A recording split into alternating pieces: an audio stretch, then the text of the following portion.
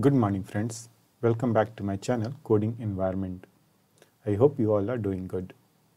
This video is a continuation of the last video where I discussed what is prototype design pattern which was a part of a creational design pattern. I will provide the link of that video in this description.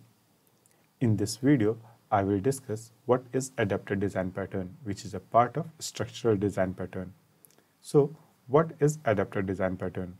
By definition, Adapter design pattern is a structural design pattern that allows objects with incompatible interface to collaborate. So let me explain this using an example. Imagine that we have created a stock market monitoring app. The app downloads the stock data from the multiple uh, sources in XML format. So this is the, like you can assume that this application is downloading the multiple source data from these sources it can be a bank or some other uh, institution and from this institution it is downloading the data in the form of XML and then it is doing some processing and displaying the data in some nice format. Now just assume that after some time we, we got one a third party application which can display the same data in a very nice format and we wanted to use that third party application. So this is my third party application but the problem with this third-party application is that it requires the JSON, uh, JSON format data and not this XML format data. So I cannot use this third-party uh, application directly and pass this XML format to this third-party application and use its feature, right? So what I can do? So if I'm going to pass my XML data to this application, this is not allowed and this will not work also. So to make it work, what we can do, we can write one adapter which will convert this XML to the JSON data. So what we, we are going to do, we are pass this XML to this JSON converter and this JSON converter is going to convert that XML into JSON and pass that formatted data to this third-party application. And this way, this third-party application can be used to display the data in nice format. So this is basically your adapter. So here you can see this, this particular adapter is used to display or convert the uh, existing format or existing data into the desired format data. So this is basically the adapter here. In the real world analogy, if you see, we have seen a card readers, right? We use SD card reader, micro SD card reader. So all this go through this adapter. So in this adapter, we put that micro SD card cards and these card readers act as an adapter. Similarly, if we have a USB and we need an Ethernet port for that, we already have an adapter called USB to Ethernet adapter. So basically, I have an Ethernet cable and I want to use the internet, but I don't have that Ethernet port in my laptop. So what I can do, I can use the USB to Ethernet uh, converter to get the internet right. Moving to the next slide. So let's try to understand this adapter design pattern using this uh, UML diagram. So in this you can see what I have is, let me uh,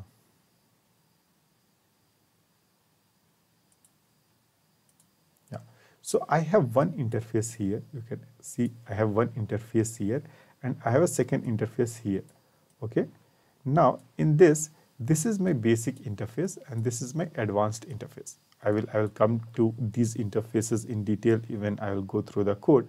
But just assume that there is a basic image viewer interface where there is a show method defined and this show method is getting implemented by this gallery app.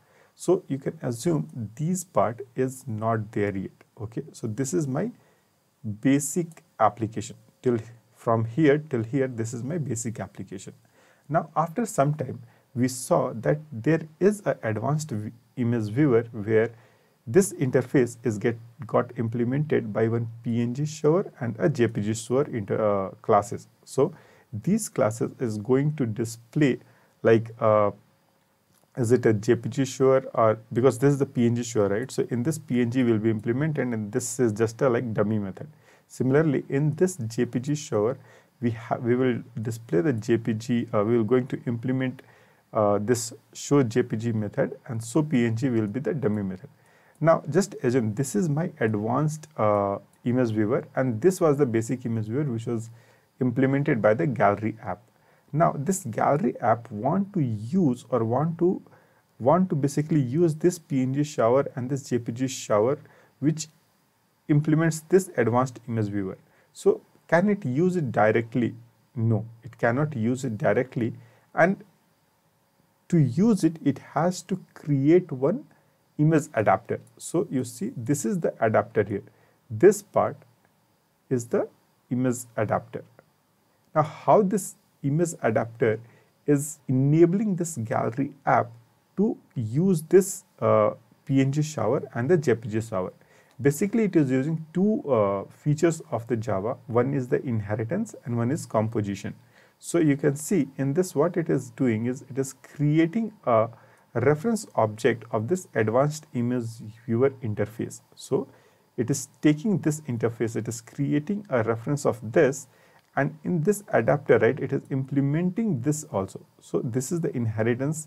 This image adapter is basically implementing, implementing this interface and it is using the composition of this advanced viewer interface and try to use these classes. So let me show in the code how we can achieve this. So, so let's go to the code now. So for the time sake, I have already written the code in uh, IntelliJ. I will go through the code one by one. So I was explaining here. Uh, so these two interfaces, right? So you can see here, there is two interfaces I have already written. One is the basic image viewer where I have a show method. It takes two input parameters. One is the type of that image and that image name. Now here you can see this gallery app, gallery app is basically implementing this image viewer, right? And now after some time we got this, this advanced image viewer also and my gallery app wants to use this advanced image viewer but it cannot directly use it because this is not compatible by the gallery app.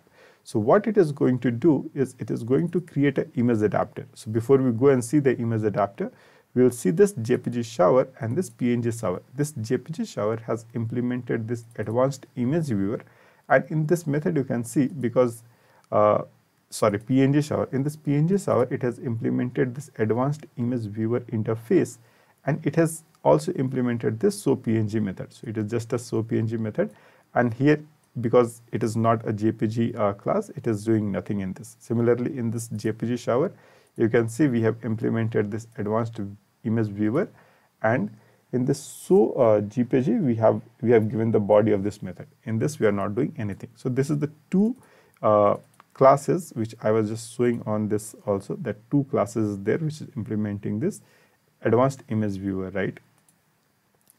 Now, if you see here, uh, this image adapter, how this image adapter is enabling this gallery app to use this advanced image viewer, right? Now, in this image adapter, basically it is implementing this image viewer, which, which was a basic, uh, my basic interface. And also it is using this composition of this advanced image viewer. Now we have a constructor which takes the parameter of parameter as a like what is the type of that uh, file.